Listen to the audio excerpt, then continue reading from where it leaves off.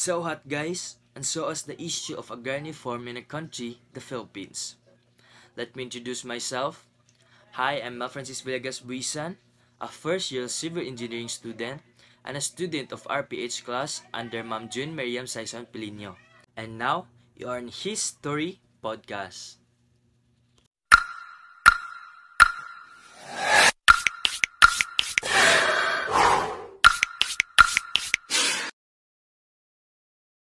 First, let us talk about the concept of agrarian reform and why did our government enacted it.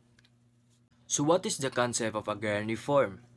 The concept of agrarian reform aimed at modernizing the feudal structure of southern agriculture by expropriating the most unproductive portions of the large estates and redistributing them to landless peasants in the form of small holdings. And why did our government install it? The Agrarian Reform Law aims to promote social justice and industrialization, providing the mechanism for its implementation and for other purposes. It also sought to redistribute land not only to farmers and farm workers, but also to the other landless poor. Who is Elpidio Quirino? Elpidio Rivera Quirino was a Filipino lawyer and politician who served as the sixth president of the Philippines from 1948 to 1953. A lawyer by profession, Quirino entered politics when he became a representative of Ilocos Sur from 1919 to 1925. He was then elected as senator from 1925 to 1935.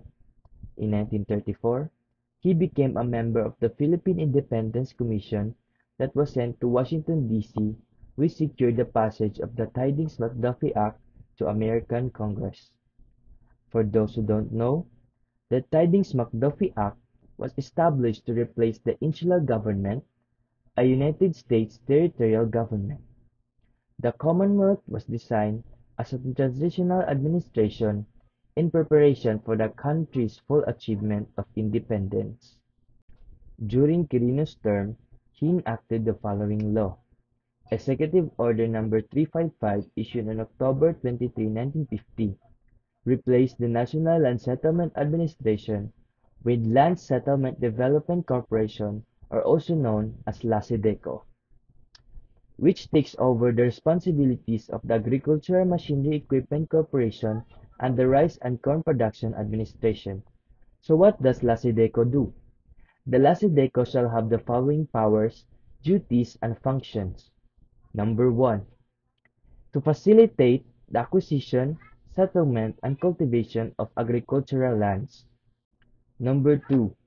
To afford the opportunity to own farms to tenant farmers and small farmers from congested areas, to graduates of agricultural schools and colleges, to trainees who have completed the prescribed military training, to veterans and members of the guerrilla organization, and to other persons as may be determined by the Board of Directors with the approval of the Secretary of Economic Coordination. Number 3. To encourage migration to sparsely populated regions and facilitate the amalgamation of, of the people in different sections of the Philippines. Number 4. To acquire by grant from the Republic of the Philippines unrestricted areas of public agricultural lands in order to carry out its objectives. To survey, to subdivide, and set aside slots of areas of such lands for farming, town sites, roads, parks, government centers, recreational centers, and other public and civic improvements, and to dispose of farm lands and town and town site lots to persons qualified and to the extent of areas authorized under the Constitution and the Public Land Act, subject to such other qualifications and to prices, terms, and conditions as may be prescribed by the Board of Directors with the approval of the Secretary of Economic Coordination that proceeds from disposition of the same to accrue the corporation. Number 5. To establish and operate credit agencies, electric light and water plants, water supplies, irrigation systems, cooperative to engage in the buying and selling of commodities and other services or inconveniences for the well-being of the settlers. Number 6.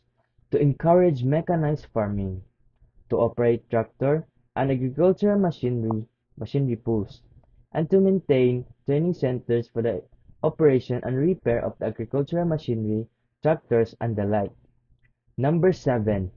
To assist in the establishment of agricultural and other vocational schools within the areas under its territorial jurisdiction, and to allocate definition portions of farm lands and townsite lots with a view to enabling students successfully finishing courses prescribed inside agricultural and vocational schools to eventually acquire little thereto.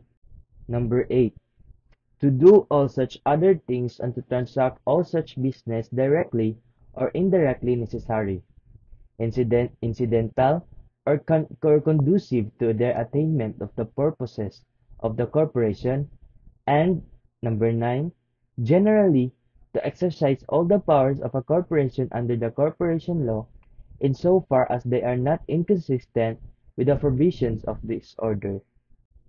Through the Executive Order No. 355, the Land Settlement Development Corporation, or LASEDECO, was established to accelerate and expand the peasant resettlement program of the government. However, due to the limit, limited post-war resources, the program was not successful. Who is Ramon Magsaysay?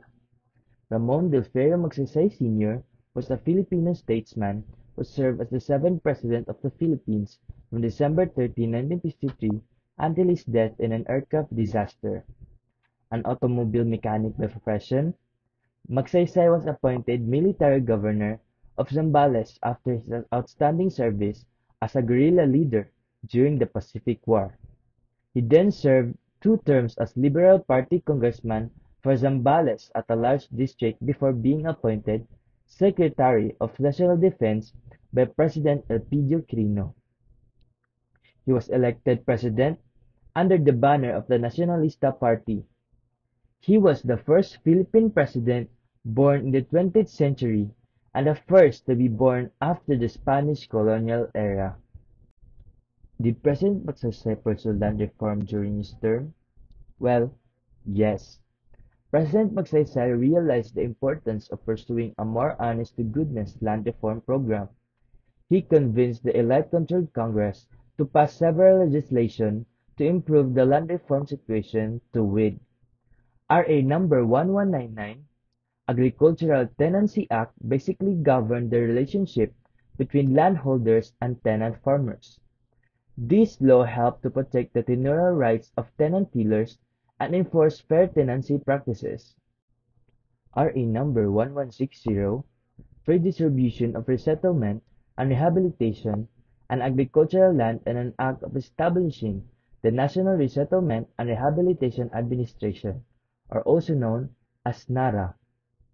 RA number 1400, Land Reform Act, or known as the Land to the Land, Land to the Landless Program, which sought improvement in land tenure and guaranteed expropriation of all tenanted landed estates.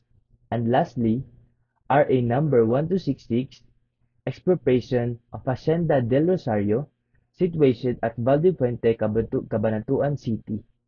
And when you say expropriation, it is the act of a government in claiming a privately owned property to be used for the benefit of the overall public. How did he implemented the Agricultural Tenancy Act? He established the Court of Agricultural Relations in 1955 to improve tenancy security, fix the land rentals on tenanted farms, and to resolve the many land disputes filed by the landowners and peasant organizations. He also created the Agricultural Tenancy Commission to administer problems arising from tenancy. Through this commission, 28,000 hectares were issued to settlers. What were this administration's key support programs on agrarian reform? Under this administration, the Agricultural Credit and Cooperative Financing Administration, or ACFA, was created. This is a government agency formed to provide warehouse facilities and assist farmers to market their products and establish the organization of the farmers' cooperatives and marketing associations, or FACOMAS. With the passing of RA 1160 of 1954, President Magsaysay pursued the resettlement program to the National Resettlement and Rehabilitation Administration, or NARA. This law established the government resettlement program and, and accelerated the free distribution of agricultural lands to landless tenants and farmers. It particularly aimed to convince members of the Hukbalahap movement to, er, to return to a peaceful life by giving them home lots and farmlands. This administration spearheaded the establishment of the Agricultural and Industrial Bank to provide easier terms in applying for homestead and other farmland. Did these interventions improve the land ownership and tenancy situation? Out of the targeted 300 haciendas for distribution, only 41 were distributed after its seven years of implementation.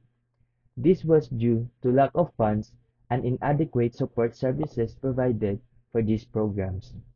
Landlords continued to be uncooperative and critical to the, to the program, and, and land ownership and tenancy problems continued. After 73 years after Ramon Magsaysay passed the laws, it actually brought good impacts in our country.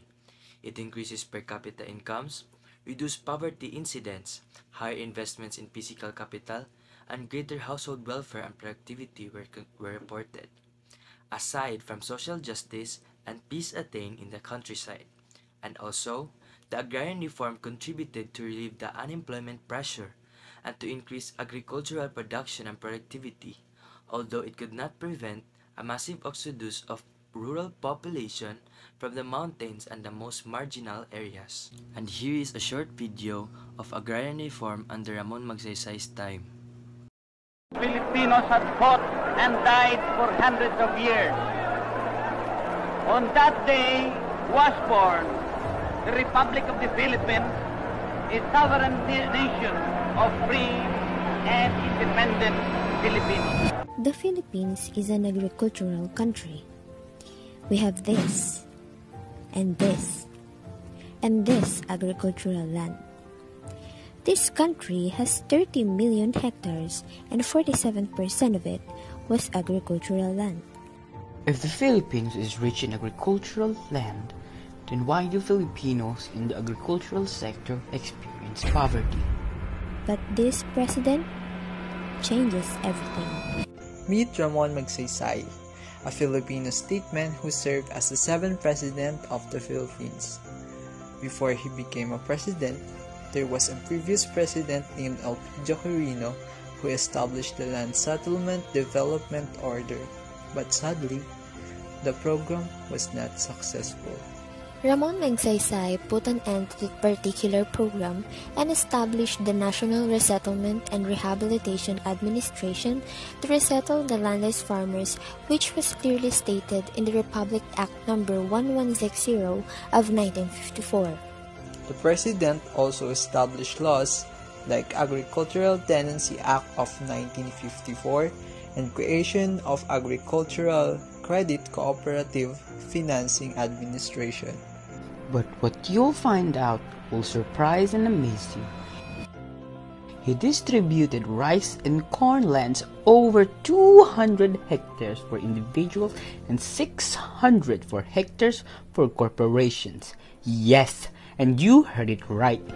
He distributed 800 hectares fairly to the nation and it is under the Land Reform Act of 1955.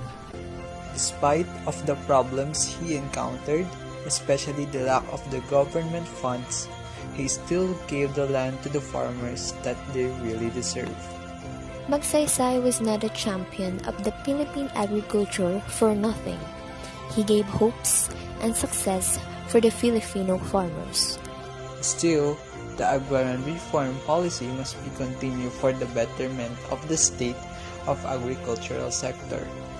We are still experiencing poverty and we are hoping and waiting for the Philippines to be called the richest agricultural country of the world.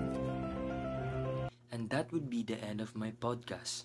I hope you enjoy and learn something from me. Thank you.